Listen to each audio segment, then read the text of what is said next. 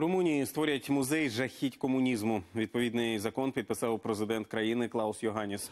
Експозицію розмістять у будівлі парламенту в Бухаресті. Вона розповідатиме про реалії соціально-економічного і культурного життя Румунії 45-89 років. Мета інформування громадськості про злочини комуністичного режиму. Фінансуватимуть музей із державного бюджету.